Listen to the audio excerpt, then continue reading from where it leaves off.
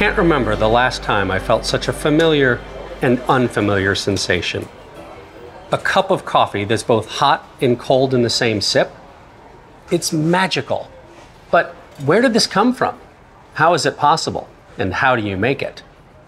And can this cup of hot and cold coffee surprise and delight the ultimate coffee critic, James Hoffmann? I am absolutely terrified to find out.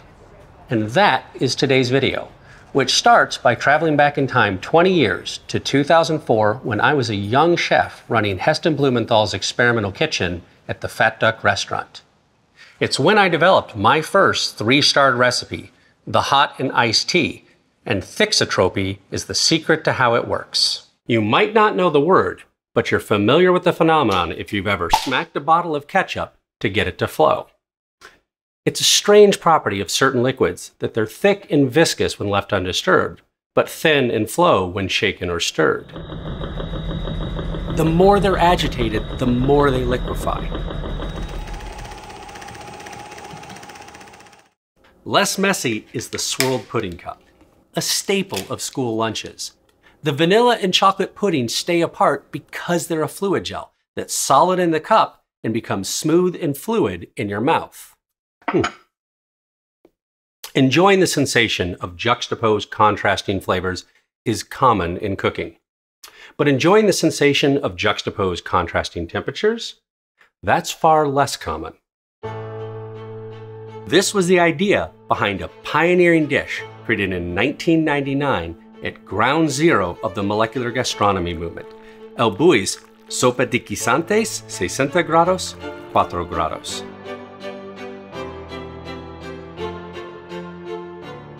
The sensation of this dish is based on contrasting hot and cold temperatures of the same fresh pea soup. It's a clear example of how our mind perceives flavor and texture as being different, when the only real difference is the serving temperature.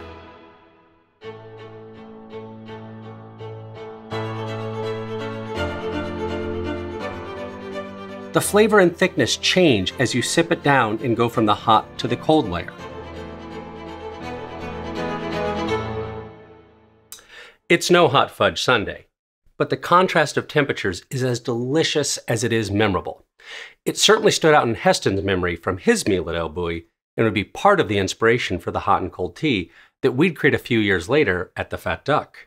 As a young chef back in 2003, I had become enamored with fluid gels, which were widely used to thicken our sauces at the Fat Duck because of their clean, crisp flavor release compared to the dull stodginess of starch thickened sauces and as a 90s kid, I was familiar with Orbitz. For those of you younger than me, this was kind of like boba tea for Gen X, a novelty beverage that was secretly a fluid gel. Unlike boba tea, where the tapioca pearls all sink to the bottom, the thixotropic nature of this fluid gel keeps the flavored beads suspended in the drink. But with just the slightest agitation of the bottle, the solid gel becomes water thin and the beads swirl. This was the lava lamp of beverages the ultimate fluid gel. I thought we could create something like this for the menu at the Fat Duck, but it was Heston who took the idea much further by connecting it to his memory of that dish from El Bulli and giving me a doodle he'd made. Depicting a glass of English tea with a twist. It would be divided in half vertically, with the hot tea on one side and iced tea on the other, with no divider in the cup. My job? To figure out how the to make this possible. The doodle was the easy part. The only thing that I knew for sure is that I would need to use the relatively obscure gellan gum, isolated from a bacterium found in lily plants in a pond in Pennsylvania. Yes, gellan gum is pond scum, but pond scum with the most extreme shear thinning behavior of any thickener. But from here, it was months of failure after failure.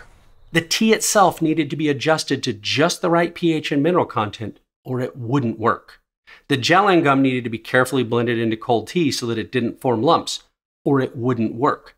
The mixture needed to be heated to just the right temperature to rehydrate the gellan gum, or it wouldn't work. before adding just enough calcium salt to get the gellan gum to gel, or it wouldn't work. If you don't get these steps right, and it is easy not to, nothing works. After this, it's best if the solution is stirred continuously as it cools, so that it becomes a fluid gel. Stirring keeps the particles of gel so small that you cannot perceive that the fluid is actually made up of a countless number of tiny pieces of solid gel. Of course, the tea needs to be thickened as little as possible, because tea isn't thick but the tea cannot be so thin that the convection currents from the temperature differences between the two sides flips the hot tea on top of the cold tea. And if you can feel the temperature difference between the sides when you hold the cup, the spell is broken. After months of experimentation, I'd finally figured out how to make Heston's hot and cold tea. Eureka! It tastes, well, like tea, but this side is Earl Grey, hot, and this side is iced tea. And you taste and feel both at the same time in the same sip. It's really difficult to describe how strange this feels. You can rotate the cup 180 degrees and the hot and the cold side flip. You can sip from the hot side or the cold side, and there's no divider in the cup. Eventually, the temperatures between the two sides will equilibrate, and it's over. It's a fleeting moment of magic. This dish is a party trick, of course and not something you'll end up craving every day. But it's also whimsical and fun at a time when fine dining was stuffy and too serious. This kind of cooking isn't just about nourishment, it's about the art of what's possible. And like modern art, it's not everyone's uh, cup of tea. This video was the first time that I'd made the hot and iced tea recipe since 2006 or so. I'm no longer living and cooking in England. I haven't cooked professionally in about a decade. I live in Seattle now and make YouTube videos like this and design cooking tools like the combustion predictive thermometer and giant grill gauge. More about those at my website combustion.inc if you're interested. That's the day job that pays to make these videos. But for today's video, I thought it would be interesting to see if we could adapt the recipe to coffee. But critical feedback is really important when developing a recipe like this. So for my cup of hot and cold coffee, I know the perfect person for that feedback. My longtime London friend and famous coffee YouTuber, James Hoffmann. Good morning, James. It's great to see you. Hey, Chris. How you doing? I am just waking up. How are you doing? I am done with coffee for the day, but uh, not bad. Not bad. Did you did you get my package of white powders? Yes, you'd think I'd be used to receiving random white powders in the mail, but it's still it's still always like, okay, thanks. But yes, I have received the white powders uh, and the instructions therein, and have run the experiment. So tell me what what you got. What happened? How'd it work? It didn't work. Um, couple things. Couple things. Um, the, the sort of major and the minor. We'll go with that. The major is I don't really know why but it's almost like the the it just didn't gel, right? It's, it's like it didn't hydrate properly, it didn't dissolve properly, and, and I'm definitely hitting the temperatures required for that to hydrate. And that's my other kind of uh, on this one where yeah. I'm cooking coffee to get this done, and it does not smell good. Yeah, like it, it doesn't. You know what I mean? The result. So the resulting thing didn't set up, didn't gel, and then tasted bad. Um, hmm. So so not not um, not quite a success. So, but not totally unexpected. This was what I was worried about. You know, I'm in Seattle. You're in you're in England. I used to live in England, so your water's quite hard compared to ours. There's a lot more mineral content. You're you're a country built on chalk. Um, we are, and in every way. You almost certainly have more mineral in your water than I do. We have relatively soft water, and that can keep gellan gum from hydrating. But the right. other problem is everybody's coffee is going to be a bit different. How they brew it is going to be a bit different. Its strength, its acidity. Yeah. You know, so what would be ideal is if we could get the gums into the water first and then make the coffee. Right. Ultimately, it feels like what you want to do is just add some very strong coffee to that. And so the first thought would be something like espresso, but espresso is going to be just vi- like violently unpredictable in terms of how people make it at home. Uh, it might be the right kind of concentration and strength for this, but it's just a massive, it's a massive variable. And also, it's it's hard to make. It's expensive to make. So I guess a solution would probably be something like uh, like a good coffee extract, ultimately, like a like a like a finished extraction.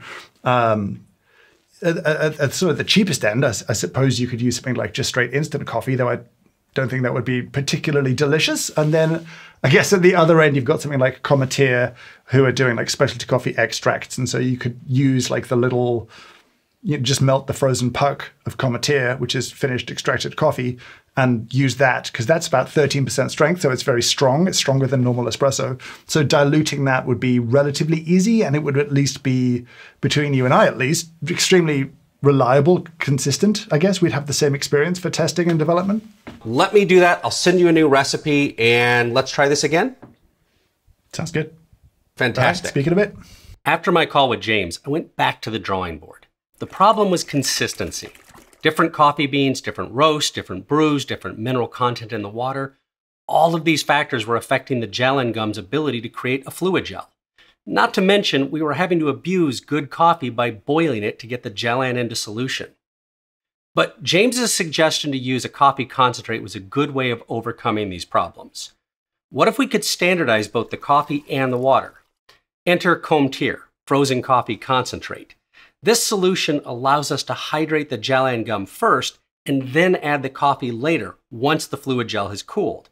It's much more reliable, much better for the coffee flavor, and frankly, much easier for anyone to make. Here are the steps. First, measure out ice cold water.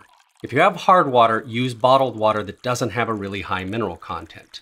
Then weigh out the gellan gum for two solutions one with 0.1% gellan gum by weight of water for the iced coffee, and one with 0.15% gellan gum by weight of water for the hot coffee. Disperse the gellan gum into the cold water. Cold water and a small electric whisk helps prevent lumps. Heat the mixture to a boil. It should go completely clear, indicating the gellan gum has rehydrated. Thaw some Cometeer coffee. Then pour the Cometeer coffee concentrate into the fluid gels. Then cool the mixture. I have the equipment to stir continuously, but assuming you don't, you can just cool it over an ice bath and then pass the solid gel through a fine sieve to break it up. While the fluid gel is cooling, you'll also need a divider to split your cup in half while you're pouring the fluid gels. I fill my glass with a 1% gellan solution in water and then demold and slice it to create a template, which I can trace onto some cardboard to create a very snug fitting divider for my cups. Finally, to serve it, heat the hot coffee fluid gel to 150 Fahrenheit, about 65 Celsius, and keep the cold coffee fluid gel on ice so that it's just above freezing. To serve, pour the hot and cold coffee fluid gels onto either side of a divided cup, remove the divider, and then enjoy.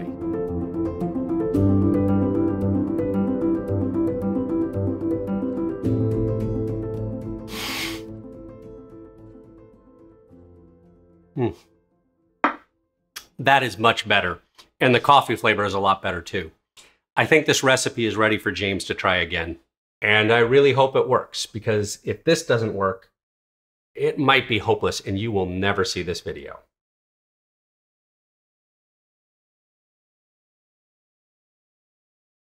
Hey, James. Thanks for giving this another go.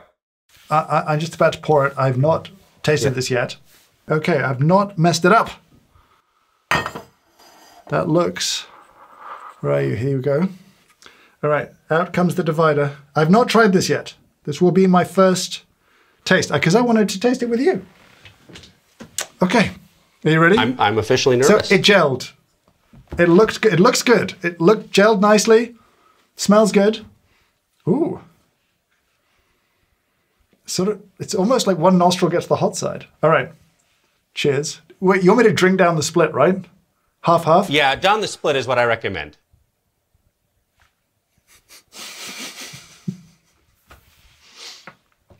Oh, that's weird. Oh, that's fun though. No, no, that's fun. That's like it's it's so abnormal that uh, but it's just the novelty of it's huge fun because you you can drink like an Irish coffee which is hot coffee and cold cream on top and you get yeah, the yeah. two things at once. But this does not does not feel like that. This feels no. like, like the, the, the sides of your mouth is split in half. And so this, this cheek got the cold side. it's so weird. Uh,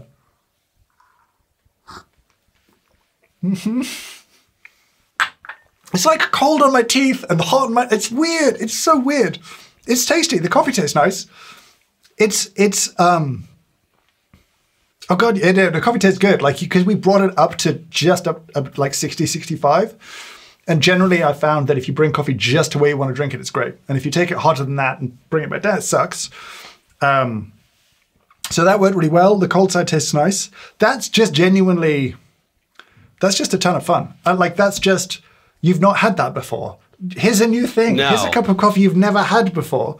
In like in a sentence, like what? How would you how would you succinctly describe what you just had? It, it's slicing your head in half and giving them two different drinks. Well, there's something you don't get to try every day. That's true. Uh, I'm, I'm, I'm going to just go and make this now for the team here because I think they're going to really enjoy it. Uh, Uh, fantastic. And and so James, thank you again. Thanks for Thank for, you. for being a good sport about this. And I look forward to catching up hopefully next time in London. It's good to see you. you too. All right. Thanks, Chris. Okay.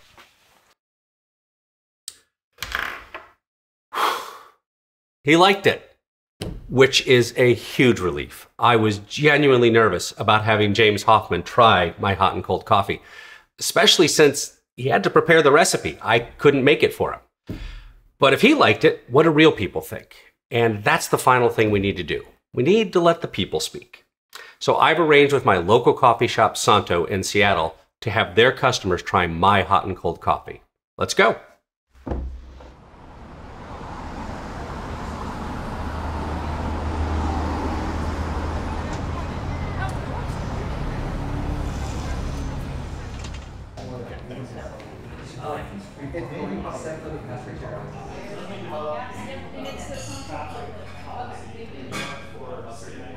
Oh. it shocked me. Like I saw the separation, Yeah. but didn't think it was going to be hot and cold because I just grabbed it. Yeah. Because it's not in a glass where I can really feel it. sensory confusion. I have cold on this side of my face and hot on this side of my face. You get cold iced coffee on one side and hot on the other. What is this this It's magic hot that you cold coffee. created? That is so fascinating. That's a weird experience in my mouth. But I don't like them together. You don't like them together? No, I like them separate. that's really interesting. Like one side of my mouth it's fully hot, and then the other it's like cold. It's really good. It's it's really trippy though. Can Yeah. you say thank you so very much for watching and see you next time? Yes, thank you so much for watching. See you next time.